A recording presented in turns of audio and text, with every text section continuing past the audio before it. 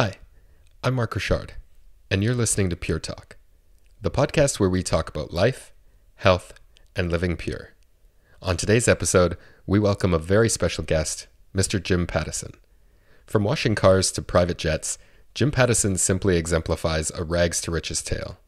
Hard work, kindness, and generosity are at the cornerstone of his success and his recent introduction into the Canada Walk of Fame. Jim tells us today about his humble upbringing, why Margaret Thatcher was one of the most inspirational public figures he's ever met, and how he built a $91 billion Canadian legacy. This is Pure Talk.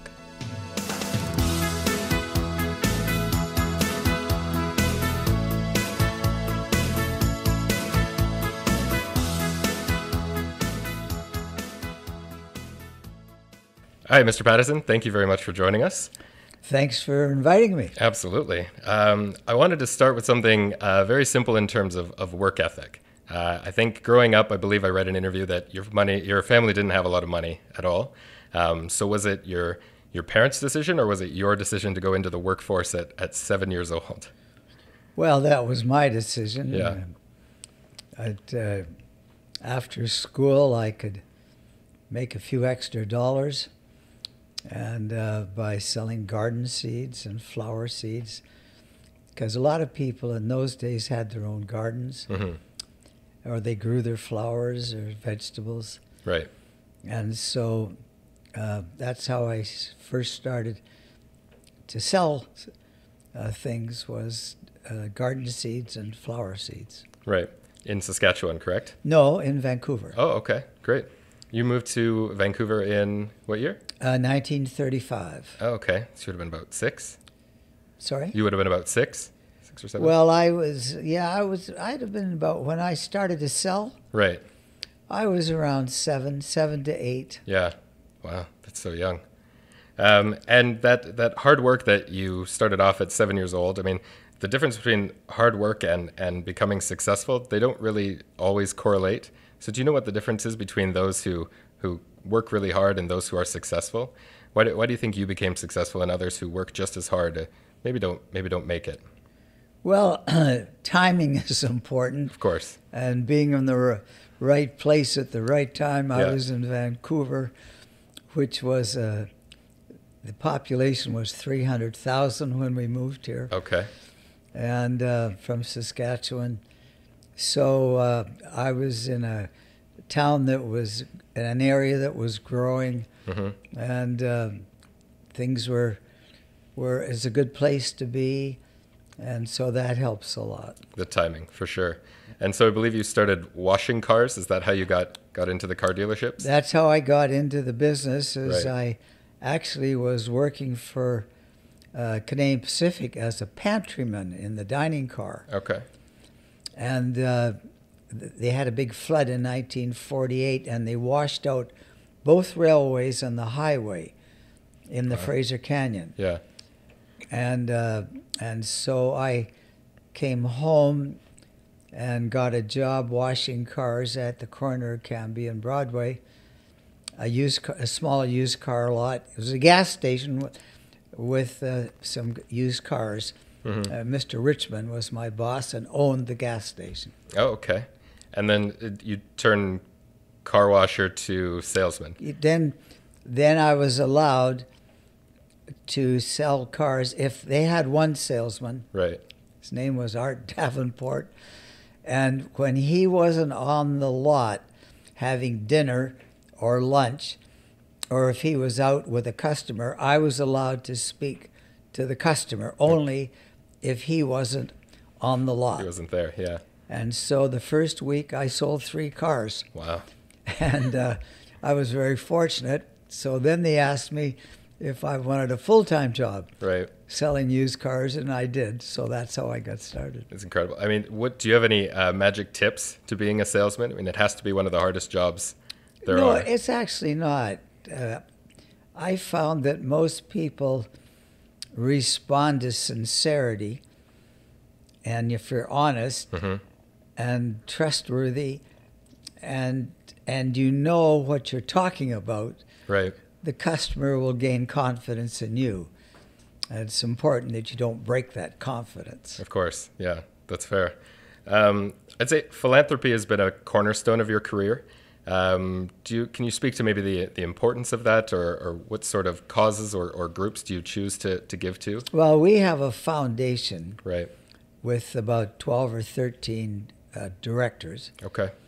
and uh, they decide where the money in the found they they invest the money that we put into the foundation, and then they decide the foundation where the money goes. Right. But some of those causes have to speak speak you know closer to your heart as well, right? Something that, that Well, you some of the things we yeah yeah uh, we we support the things that have helped us over the years, and right. And uh, we continue to support those kind of things. That's great. Uh, you were recently inducted into the Canada Hall of Fame, and there was a surprise visit from. no, it uh, was the it was the uh, it was the Canada Walk of Fame. I'm sorry, the Canada Walk of Fame. yeah. Canada Walk of Fame. Do you get to put your hands on some sort of road as well, like they do in Hollywood? Is there? Uh, well, you go through it's a, it's a walk, and I went through the walk. Great. Um, and I believe, if I'm not mistaken, there was a surprise visit from Warren Buffett. Uh, That's true. So now you and Warren are, are friends. Can you speak to how that started? certainly I I certainly was most appreciative of the fact that he came up just for that event. Absolutely. Went home that night after dinner. Wow. Um, where did that friendship start? When, when did you meet? Uh, when did you Well, meet I met him uh, several years ago uh, when I got invited to go to his meeting in Omaha. Okay. He has a big meeting once a year in Omaha. Right. And uh, I got included in that. And from then I got to know him a little bit, and and uh, I have a huge respect for Warren Buffett. Is in a class all by himself. Absolutely. Of course he is. Um, in terms of speaking of businessmen, can you speak to maybe the the, the difference between being a, a shark of a uh, the, the shark of a businessman and also making everyone happy at the same time? Because I think Well, it's, I can't. hard to have def- I can't define a shark. All I can tell you is that anything to do with customer, the customer is always the boss. Right.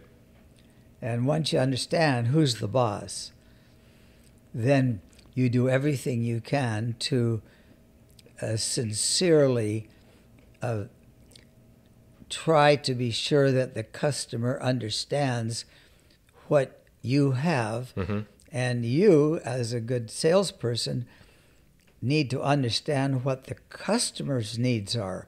Because sometimes the customer doesn't know really what they need Right. and you're an expert in let's say in my case it was transportation cars but uh, it's important to always be put yourself in the customer's spot hmm and what can you do to help him knowing what you know Right. Right. Absolutely. Um, I'd say you've met so many influential and, and powerful figures. Uh, is there one that stands out in your mind? Someone that you remember the most, or someone who inspired you the most? well the i think the two i think um, the three people that really made an indelible impression on me was Margaret Thatcher, Mhm.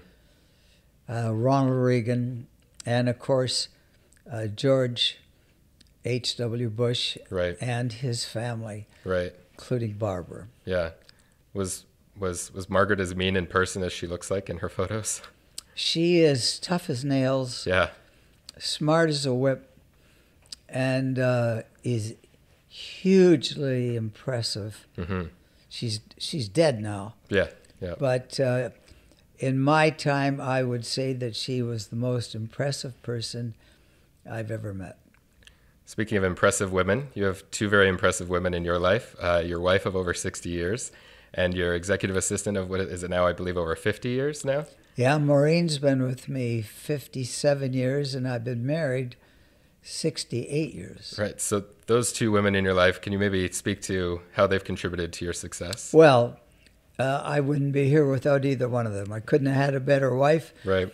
And Maureen came with me uh, very shortly after I got started in a gas station. We had a three pump gas station. And Maureen's had a huge impact on the this company, and uh, we wouldn't be here today without her. That's great. Um, what about your, your health? Can you share some tips on, on how you stay so healthy? Is there a well? a I just thank the good Lord every night when I go to bed that Okay. I got uh, that I have the health I've been blessed with. Right. There is no there's no secret sauce. There's no uh, No, special not that pill. I'm aware of. All right. Fair enough.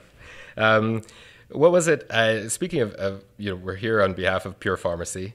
Um, looking at Pure Pharmacy as a brand, what was it that you saw in the brand that, that made you want to partner with them? Well, it was Bob, uh, Bob Muir, who, Right.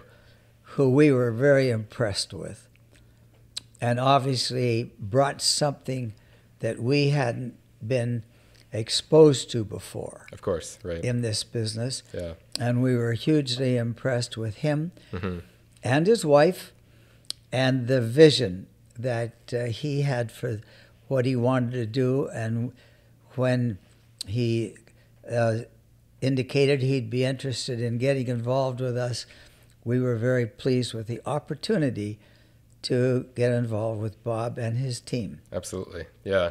Um, in terms, as far as the Pattison Group goes, do you have any your visions for, for where you'd like to go next in terms of, of Well, we do. We have lots of, uh, as the economy changes and technology changes, we have to change with it. Absolutely. And a lot of things that we've been in is the old economy, and we have to move our company into more of the new things than that.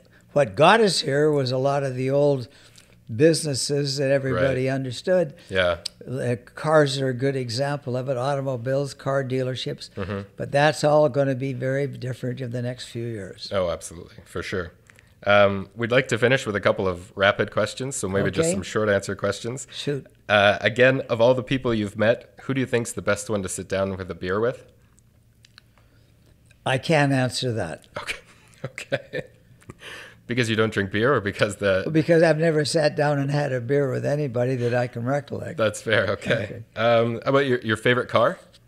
My favorite car is a 75 Pontiac convertible I've had since new. Wow, excellent. And you still drive that? I still drive it every summer. That's incredible. Um, your go-to snack?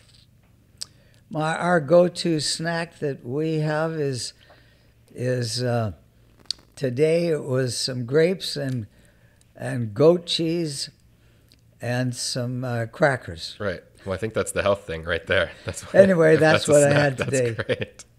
Um, do you have, uh, how about a, a favorite song or favorite music group?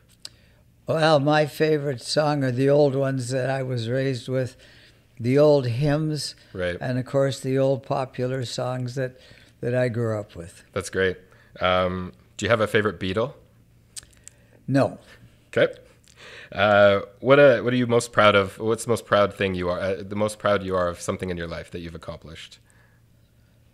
I think that I'm pleased that we're able to create as many jobs for people as we have. For sure. We've been very, everybody, we all need a job and we all have different skills. And I'm just very grateful that, that I live in a country and was born here that allowed people like us to build a business and create the jobs that help them with their families and our country.